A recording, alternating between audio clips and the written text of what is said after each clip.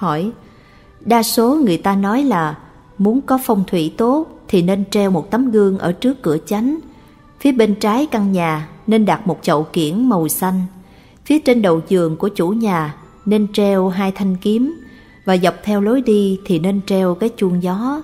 Làm vậy có phải không? Đáp một Tấm gương biểu thị cho sự thanh tịnh là thân tướng chúng ta được trong sạch khi ra khỏi nhà. Quét nhà là quét rác ra khỏi cửa, khiến cho chúng ta được sạch sẽ. Gương cũng là sự sáng tỏ, hiểu rõ sự và lý, biết chấp nhận theo định mạng tri túc, biết không tham, không cầu. Vậy mà có một số người không biết, lại tin vào tà thuyết. Họ nghĩ rằng treo gương chiếu yêu ma thì tà ma không dám xâm phạm vào nhà. Nếu có ý nghĩ như vậy thì tà ma đã nhập vào thân thể họ rồi. Hai, Cây kiển màu xanh chỉ là một cách trang trí trong nhà. Ba, Kiếm trí huệ các dây tình ái để chúng ta đừng lạng hoàng. Hai thanh kiếm chỉ là biểu tượng cho nam và nữ, mỗi người cầm giữ một kiếm. Không treo kiếm thì tà ma không đến, một khi treo lên thì tà ma sẽ tới chiến đấu với quý vị. Bao lần ai thắng, ai bại không thể nào biết được. 4. Chuông gió tượng trưng cho sự điêu linh tàn tạ. Ý nói trong gia đạo suy bại, mỗi ngày một lụng bại dần. Tóm lại, phong thủy thì không ngoài tự tâm. Tâm địa tốt, quang minh chánh đại thì mọi việc đều tốt, không tốt cũng sẽ tốt. Còn nếu tâm địa không lương thiện thì mỗi mỗi đều không tốt. Lúc đó việc tốt cũng biến thành không tốt. Vì vậy Đức Phật nói, tất cả đều do tâm tạo. Người xưa cũng nói, người đời cho rằng quyệt mạch ở trong núi, nhưng nào ai biết quyệt ở tại trong tâm. Những kẻ giang hồ thuật sĩ hay cải bướng tự chế ra các lý luận không chính đáng để lừa gạt người ngu. Thật đáng thương, đáng thương thay. Hỏi, khi an vị tượng Bồ Tát, chúng con có phải lựa ngày và chọn phương hướng hay không? Đáp, không cần phải chọn ngày và lựa chỗ. Quý vị nên đặt tượng Bồ Tát ở chỗ cao, cao khoảng nửa thân phía trên của mình là được. Coi ngài xem hướng đều là tư tưởng của bọn yêu ma quỷ quái. Hỏi, có một vị Pháp Sư bảo rằng người học Phật không cần phải tụng công phu khuya và chiều, như vậy có đúng không? Đáp, đó là vấn đề của chính ổng. Theo sư, không tụng công phu khuya và chiều cũng được. Tức là không làm các công việc khác cũng được luôn.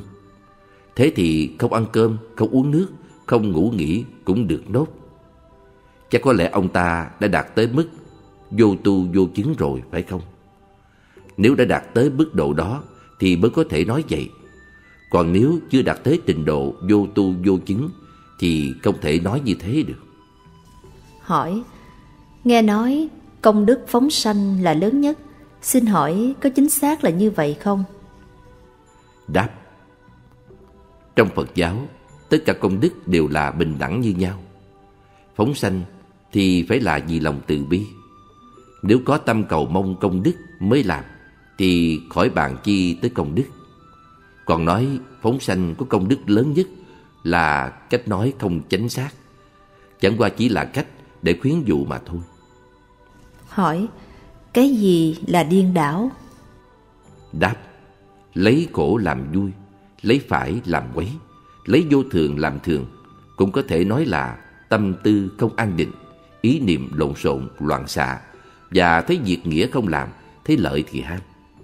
Tóm lại, đen trắng không phân biệt được, thật giả cũng không biết, thì đó đều là điên đảo. Hỏi, tu hành như thế nào mới có thể liễu sanh thoát tử? Đáp, ăn cơm, mặc áo, đi ngủ.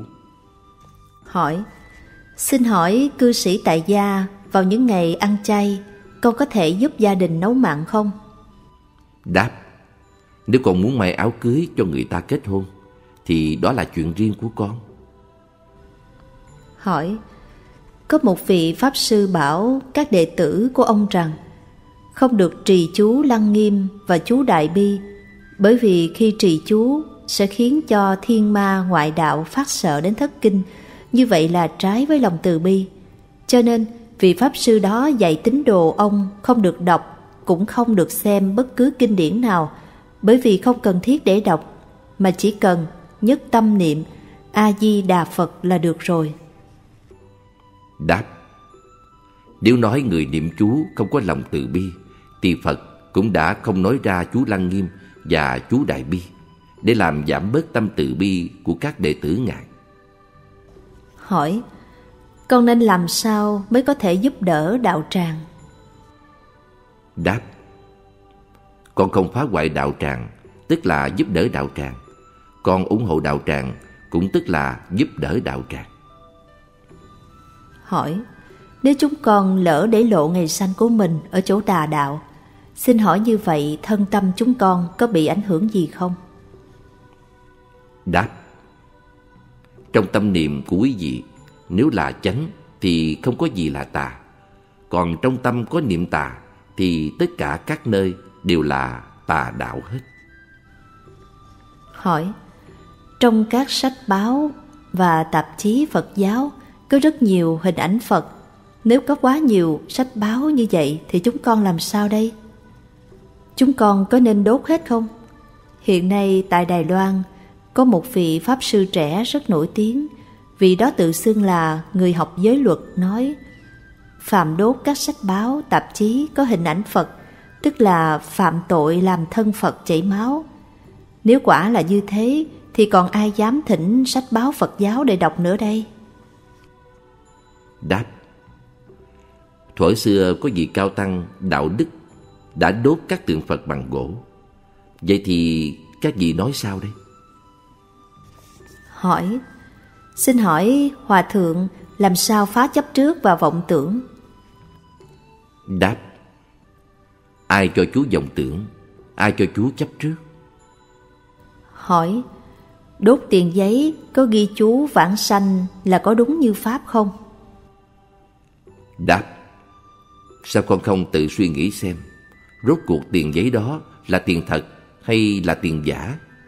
Một khi đốt là nó biến thành tro. Vì giấy đã bị đốt tan hết rồi Thì làm sao còn là tiền được nữa chứ? Ha ha ha,